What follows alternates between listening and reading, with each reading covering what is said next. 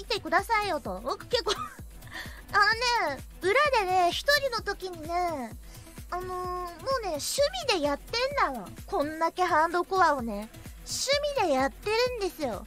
もうね、最近ね、マジでね、一生やってんの。なんかさ、裏で、あの、30分だけ時間あるなとかいう時に、さ、30分って配信できないからさ、30分って割と、あのね、何をする時間だろうな。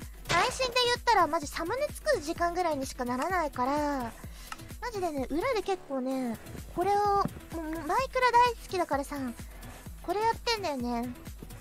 じゃあ何やろっかなって思って、僕ね、もうね、本当に、一月ぐらい前からずっとね、裏でね、このハードコアをやっております。いや、結構ね、死ぬね。ほんとしょうもないことで死ぬ。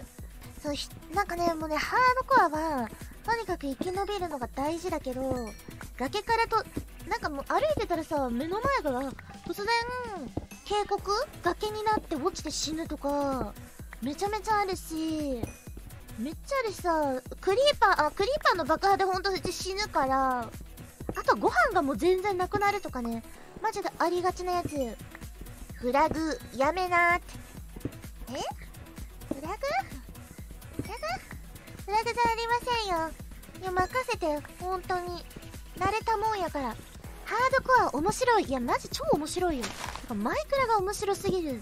いろんな楽しみ方がありすぎてさ、一生やっちゃうよね。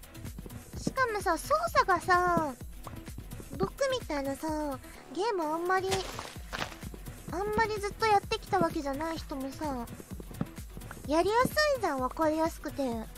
ほんともうマイクラに出会えて、僕の人生を変わりました。